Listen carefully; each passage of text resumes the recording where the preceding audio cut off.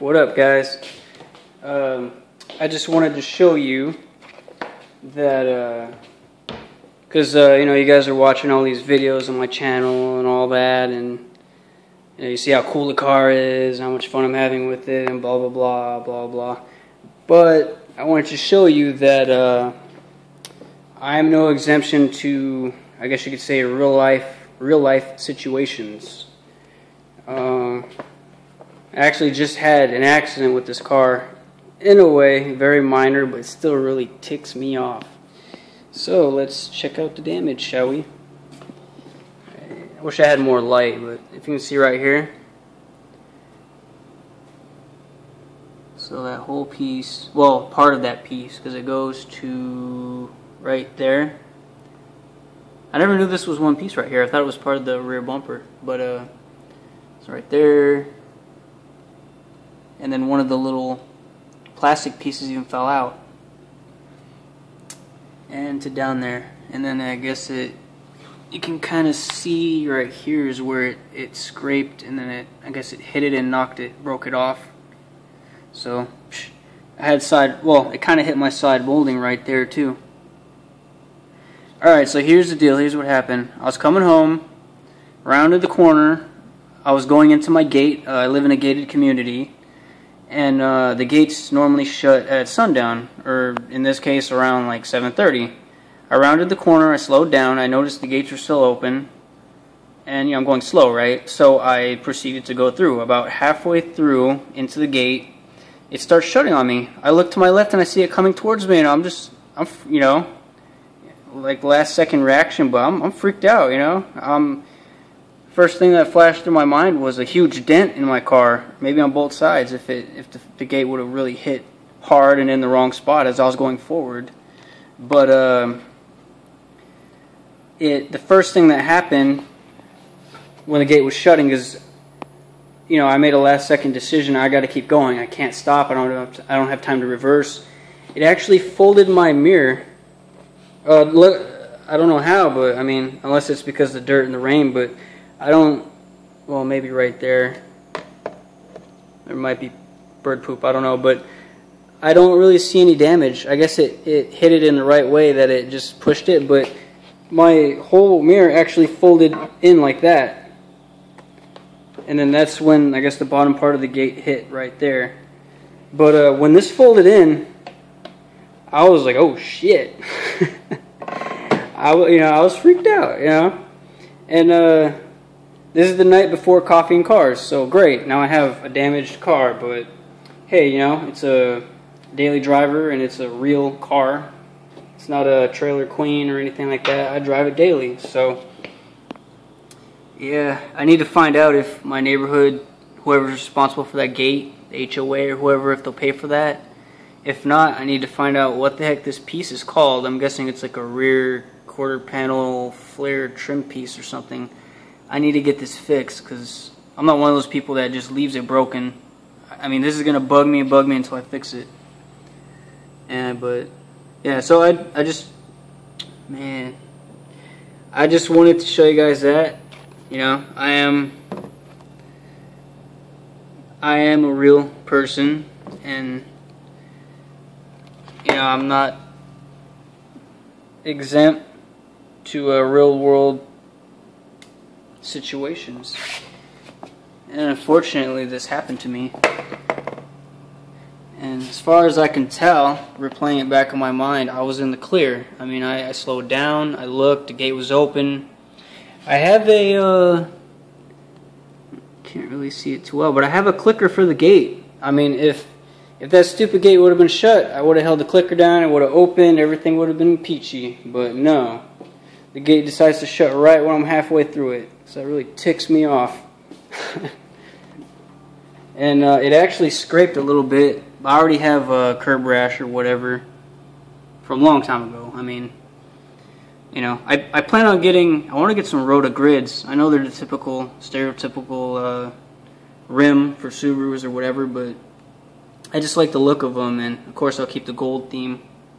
And then I can just, because these are forged, so the Rotas, in my opinion, are cheap, cheaper quality at least. But uh, whenever I want to do the drag strip or something, in the future, I can switch out to these rims. And then for daily driving, for looking good or car shows or whatever, I can have the Rotas. Yeah. So again, this is what I'm dealing with tonight. The night before coffee and cars. So, uh, yeah, I just wanted to mention that. You know, not everything in my life is perfect. I mean, I can't complain, but things don't always go my way, you know. That's all I'm saying. Because uh, I was actually looking back at some of my vids, and it's like, wow, you know, he got the cool car, and then he's got all these parts with all this money. But, uh, you know, it, it didn't happen overnight. It took a lot of working, a lot of saving, a lot of research, a little bit of um, networking, you know, meeting meeting the right people, my mechanic, parts guy, Jordan at Defined. Yeah, so I, I was planning on getting this car detailed anyways, but that's just a, a setback I wasn't planning on, and it really pisses me off. yeah, and a fat chance I'm going to wash my car now. I'm pissed. I was going to kind of wipe it down before coughing cars, but screw it. It's supposed to rain tomorrow anyways. I'll just leave it filthy. Yeah, yeah. I got a new uh, sporting a new decal. OK Subies, Oklahoma Subarus. It's got the pistons and the Oklahoma outline silhouette. So, uh, yeah, if, uh, if you know somebody in this group or if you're part of this group, then you probably know me or can find me. And this is a man's garage. nah, just kidding. Yeah, actually, I need to check, see if I need to rotate my tires. I can't remember. And oil change. Yeah. And just a little update. I think I just hit 46,000 not that long ago. I think I'm at about 46,300 miles or something like that. And this is a 07 STI, so that's like ridiculous. Yeah, that'll look good tomorrow. And then just a little update on the car. For those of you that are, at least for those of you that are new to my channel. DCs. Uh, this is this is pretty much my setup. IAG aluminum accents, Grimspeed aero separator, Grimspeed electronic boost controller, uh, I have a Grimspeed master cylinder brace, but not yet installed. Uh, TurboSmart dual port blow valve, Tial external wastegate, 44 millimeter, Invidia N1 turboback exhaust. This is actually a JDM ball bearing VF34, I believe. Uh, it was kind of like a, it's basically a loaner.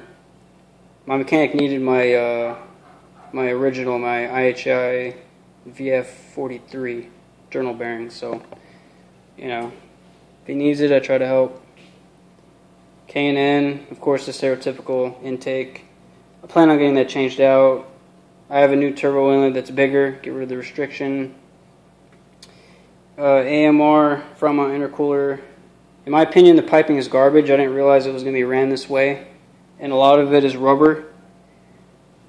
I don't like that and there's no uh, brackets to support it, so it rattles sometimes, and it really takes up a lot of space.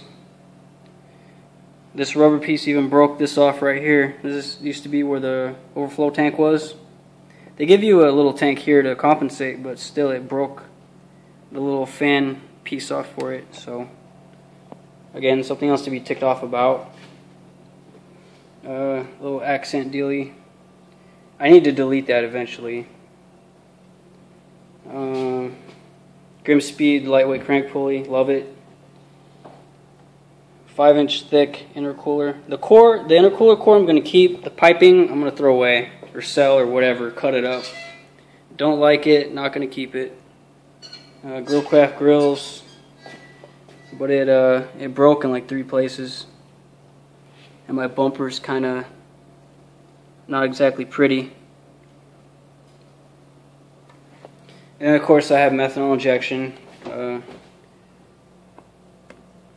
right there. That's where the methanol nozzle is. And then it, it goes to right there. It's my firewall. Okay, so uh, I guess you would consider this car a stage two and a half because I have methanol and full exhaust. So that pretty much is my car right now. Nothing too special, but I mean, I like it. Uh, and I have the mods to do more, but uh, I think I need a little bit more money and I need a lot of time, a lot of my mechanics time. so, yeah, this is pretty much where I'm at. If you're subscribed to me, especially if it's for the, the Subaru, the STI, this is it right here. And uh, I'm still going to go strong with the videos, going to keep putting them out. Uh, I started a uh, like a stick shift lesson thing. I'm going to keep going with that. And uh, there will, I swear to Christ, there will be a build in the future. Uh, but, uh, you know, don't hold your breath or whatever. Don't, you know, keep looking at the subscription box every day. It's, it's not going to happen overnight. But believe me, when it does, it's going to be awesome. Uh, I'm hoping to hit, well, with all the mods, I should be able to hit 500 all-wheel horsepower on 91 octane and methanol. I should be able to with the turbo and with everything I'm going to use it should be easy to hit that. But of course, you need to take into account the type of tune I'm going to get. I'm not going to get a super aggressive one, but I'm not going to get a super conservative one either. It's going to be like a hybrid blended tune, half speed density, half mass airflow. Uh, it's basically going to be an all around car. Good for town driving, city driving, good for highway. Uh, hopefully, going to have good low end, good mid range, good top end. You know, if some dude in a diesel truck wants to freaking mess around, I can just hammer it in whatever gear I'm in or downshift the gear and floor it, and I'll be able to whoop his ass. And uh, the way my mechanic is going to set it up and the way he was telling me, the car may only end up with 460 all-wheel horsepower, but I'll be able to destroy guys that have 540 all-wheel horsepower because usually in order to get there they have to run a bigger huge giant turbo, which takes a lot of time to spool up, a lot of lag. So, especially if I'm at the drag strip, I'll be able to spank them because right off the gate, I'll be able to hit it and drag some ass. By the time they, they build up enough power to try to catch up, it's too late. Wow, 12, 13 minutes. All right, well, that is it. Uh, if you know what that if you know what that piece is called, I don't have the flashlight anymore. If you know what that, that piece is called, uh, comment. Let me know. Especially the price. I'm I'm curious because I will get that fixed. I need to get that fixed. Uh, comment below thoughts, questions, whatever. And uh, oh yeah, and I'll mention one more thing again for the the people that are just that just subscribed. Um, and you know I don't know if I got the point across or whatever, but I'm just a stereotypical person, you know. I I'm not a YouTube partner. I've gotten offers to monetize my videos and make money and whatever. I don't plan on doing it. Uh, the YouTube videos are just a hobby. It's just for fun. Uh, originally, I created an account because I wanted full access to YouTube to have playlists and to see videos that were like rated 13 and older and whatever. So I made an account, and for over a year, I didn't post anything. I just watched videos under that account. And then for some reason, I decided to start posting. And uh, I posted guitar videos at the start. And then I guess I wanted to do better quality, so I created another channel and I held myself to like a higher standard. And I would only post if I, I met that standard. And then when I got the car, I wanted to post it, but not on my new channel, which was strictly guitar. So I ended up putting them on this Panzerth account, which is my original. And from here on out, it's basically been my, my car channel. So, again, if you're subscribed because of the Subaru, please stay tuned. Uh, don't hang around the sub box forever and keep refreshing. I mean, you know, I don't really post on a regular schedule, but when I do, it'll be there for you to check out if you like. And, uh, and I'm not trying to be like a view whore or a sub whore or whatever. I mean, if you like my content and you want to be notified, subscribe. If not, that's cool. Uh, the like and dislike. I mean, if you if you like it and feel compelled to like, go for it. If you dislike it, click it. You know, any opinions or whatever, write them down.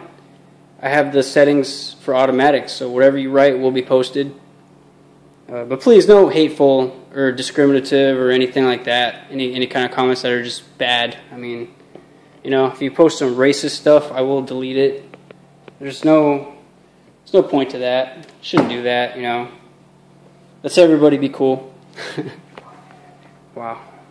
All right. Sorry for ranting on. All right. Well, this is Jeremy signing off. Later.